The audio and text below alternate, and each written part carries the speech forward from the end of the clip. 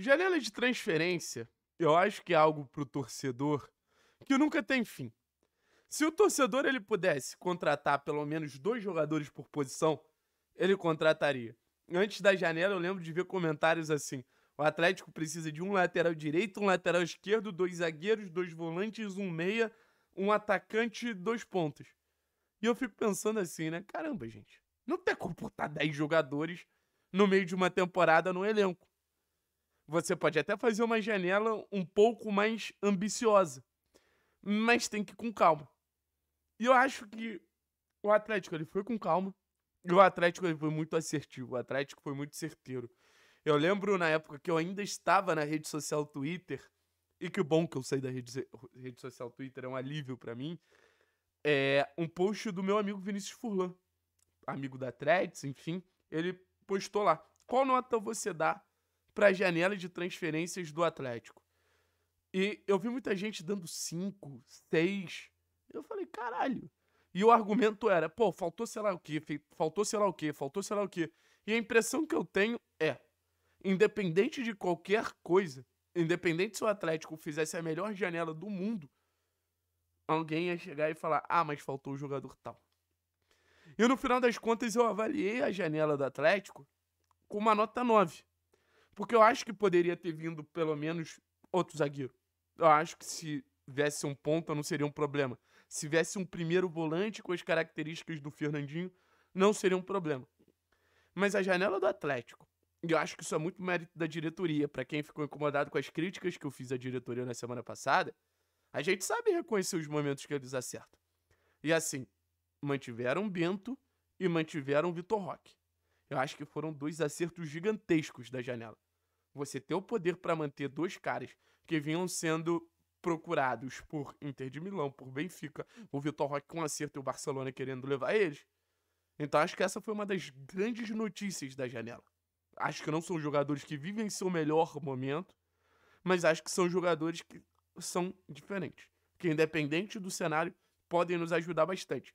E acho que esse foi o primeiro grande acerto da janela do Atlético. Mas depois vem os jogadores que chegaram. E sempre quando você vai para uma janela de transferências, eu acho que você vai com o desafio de não só contratar, mas você vai com o desafio de se reforçar. Você vai com o desafio de olhar e falar o seguinte: não, beleza, mas assim, esse cara ele não pode ser só uma contratação, ele precisa ser um cara que chegue e nos ajude. E óbvio que os jogadores eles têm tempo de adaptação completamente diferente. Mas perceber que o impacto desses jogadores que chegaram na janela de meio de ano vem sendo extremamente positivo, me deixa muito feliz. Eu acho que nesse jogo contra o Cuiabá, isso ficou muito claro. Porque a gente tinha em todos os setores um jogador que veio na janela de meio de ano. A gente teve durante, acho 90%, 100% do jogo, né? Acho que jogaram o tempo todo.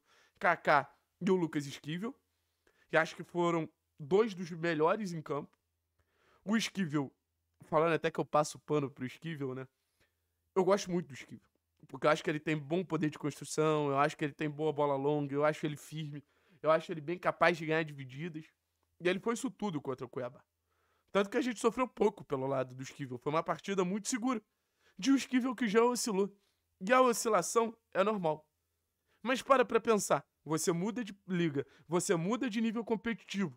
Você chega num país onde se joga o melhor futebol das Américas. Você jogava num país num, num time pequeno da Argentina. Chega para um time grande do Brasil. O titular da posição se machuca. Você precisa assumir a posição quase como um todo. Normal você oscilar. E o Esquivel fez uma partida contra o Cuiabá de dono da lateral esquerda. E essa competição entre Esquivel e Fernando vai ser muito legal quando o Fernando voltar.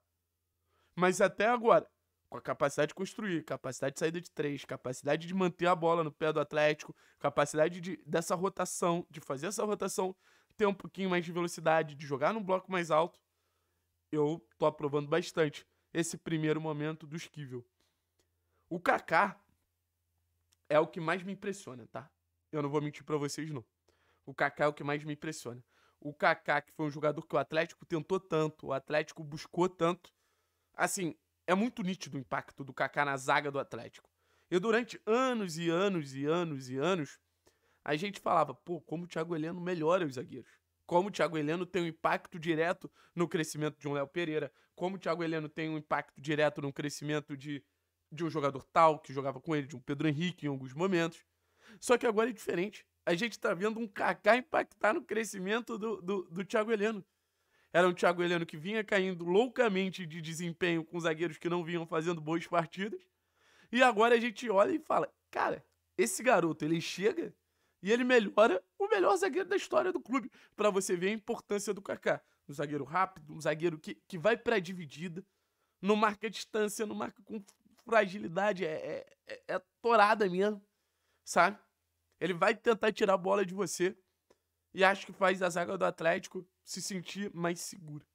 Já foi contra o Santos, já foi contra o Cuiabá. Tô muito, muito, muito satisfeito com o Kaká. Mas muito satisfeito mesmo. Agora a gente vai falar de Vidal e Zapelli, mas antes eu preciso lembrar vocês dessa nossa amiga aqui, ó.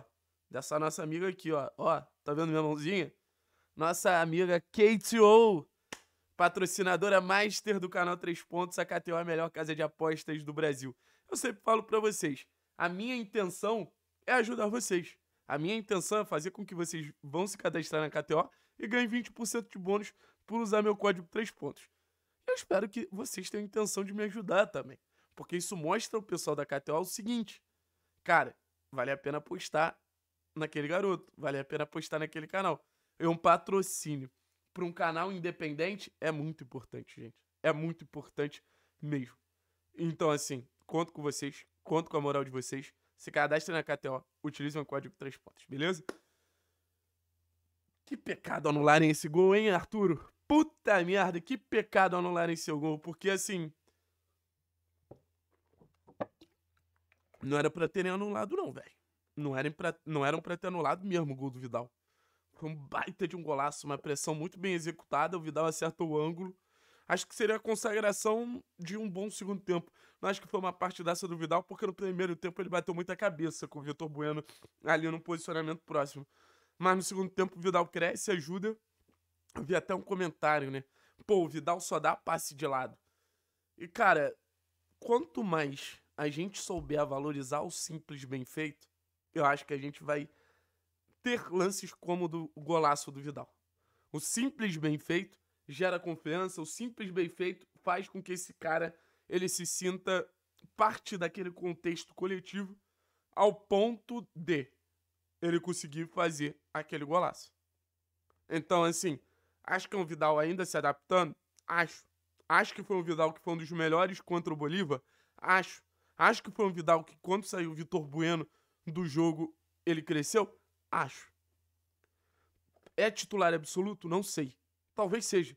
Porque acho que tem muita qualidade e faz esse jogo do meio campo do Atlético ser mais simples. Eu acho que, por exemplo, quando o Christian voltar, talvez essa titularidade absoluta do Vidal ela seja repensada. Mas eu vou ser bem sincero com vocês. Em nenhum momento eu fui contra a contratação do Vidal. Mas até agora eu tô muito surpreso positivamente do que eu tô vendo. Um jogador que chegou para somar, um jogador que chegou para colaborar. A comemoração ontem do gol do Vidal acho que deixou isso muito claro. Muito claro mesmo, sabe? E para terminar, vamos falar de Bruno Zapelli, né, velho? E para terminar, vamos falar de Bruno Zapelli, autor de um gol e a, e a coletiva do Wesley sobre o Zapelli foi muito legal, né? Porque o próprio Wesley falou que o Zapelli não era aquele cara de entrar na área de fazer gols. E eu já tinha falado isso para vocês, que o Zapelli não era Terãs, né? Que o Terãs tinha muito esse perfil de entrar na área, finalizar, fazer gols e tudo mais. E realmente não tinha esse perfil. O Wesley ele não tá errado. Só que o Wesley quer que o Zapelli tenha. E o que, que a gente viu até agora do Zapelli? Basicamente duas participações em jogos contra Santos e contra a equipe do Cuiabá, uma pré-assistência um gol. O Zapelli ele vai apressar a titularidade dele, tá? Eu, te, eu, eu, eu, pretendo fazer um vídeo mais complexo sobre o Zapelli, sobre as zonas de campo que o Zapelli vem atuando, sobre a liberdade que o Zapelli vem tendo. E o Zapelli ele tem um desafio muito legal, que ele não é o dono do time do Atlético como ele era do Belgrano. Então, taticamente, ele vai precisar se inserir melhor, mas tecnicamente até agora é indiscutível.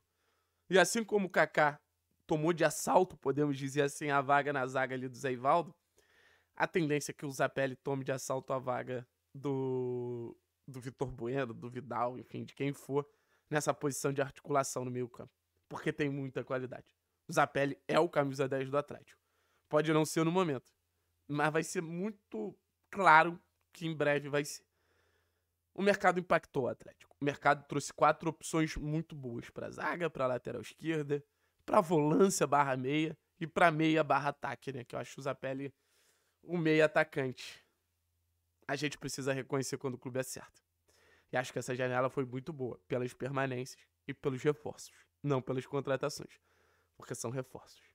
Tá bom, rapaziada? Tamo junto a nós. Foi um bom jogo, cara. Eu tô feliz pra caralho com a atuação. Foi um bom jogo.